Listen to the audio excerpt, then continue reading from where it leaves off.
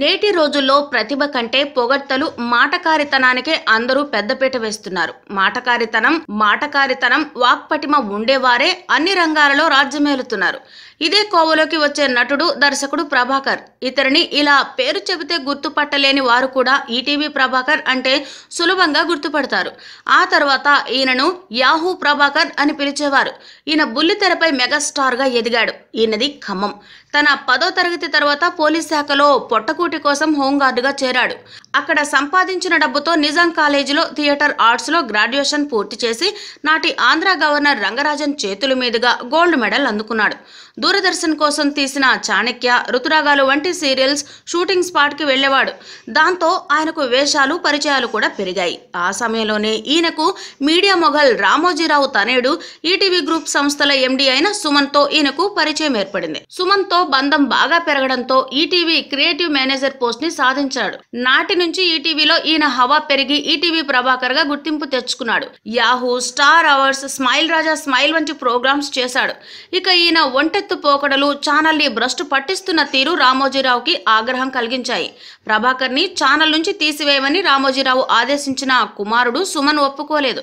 ఇక నాడు ETV Suman ETV ప్రభాకర్ల మధ్య స్నేహం కంటే విడదీయరాని బంధం ఉందని వార్తలు వచ్చాయి. పోసాని కృష్ణమురళి తాను తీసిన మెంటల్ కృష్ణ చిత్రంలో సుమన్ ప్రభాకర్లు హోమోసెక్సువల్స్గా చూపిస్తూ ఏకంగా ఓ ట్రాక్ నే తీశాడు.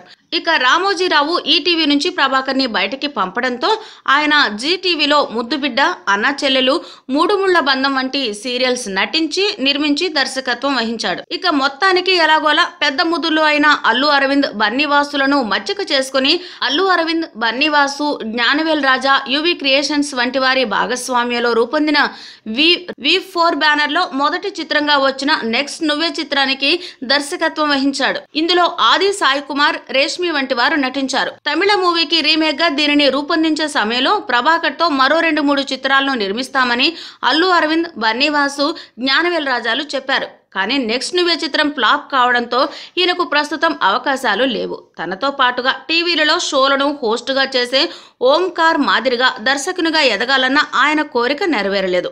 ఇక ప్రభాకర్కి ఓ పాప ఓ బాబు ఉన్నారు. ఈయన సంతానానికి కూడా నటన అంటే మంచి ఆసక్తి. ఈయన కుమార్తె పద్నాలుగేళ్ళ వయసులోనే అన్నా చెల్లెలు సీరియల్కి గాను ఉత్తమ నంది అవార్డును గెలుచుకుంది. ఏది ఏమైనా ప్రభాకర్కి ఈటీవీలో వచ్చిన గుర్తింపు దాని నుంచి బయటికి వచ్చిన తర్వాత రాలేదని చెప్పాలి. ఇక ఈయన డబ్బింగ్ సీరియల్స్ ఆపాలని కొన్ని ఛానల్స్ పై దాడి చేసిన విధ్వంసం సృష్టించిన కేసుల్లో కూడా నిందితుడు.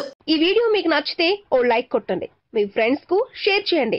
ఇలాంటి డిఫరెంట్ వీడియోలను మరిన్ని చూడాలనుకుంటే మా యూట్యూబ్ ఛానల్ను సబ్స్క్రైబ్ చేయడం మాత్రం మరవకండి.